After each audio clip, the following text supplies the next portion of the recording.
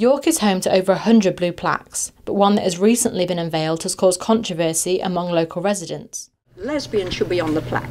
If you define lesbian by a woman who loves women and is sexually attracted only to women, then Anne Lister was a lesbian, so it needs to be on the plaque. Um, secondly, she was her diaries need to be on the plaque because she was a brilliant diarist. But one woman in particular has decided to take action. Lesbian landowner, brilliant diarist, intrepid traveller. But in a modern day society, is gender non confirming good enough? Because it's supposed to be an LGBT plaque, and it was done by the Civic Trust to be an LGBT plaque. So then, to avoid putting lesbian on the plaque, um, we just need to put that right and put the wording right. That would be wonderful and lovely. And uh, actually, we're talking at the LGBT forum at our next open meeting. We'll be discussing this. And Sue Lister is not alone.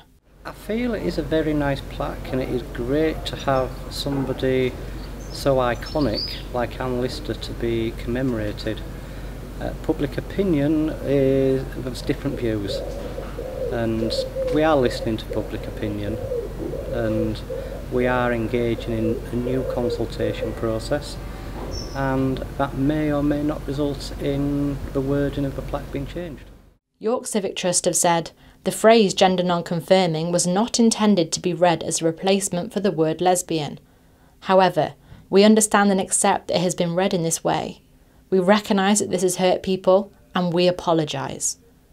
We've heard the criticism and we're open to the idea of updating the plaque in the near future. Uh, respective meetings, there's lots and lots of correspondence going on behind the scenes and we are working towards being able to call a public consultation.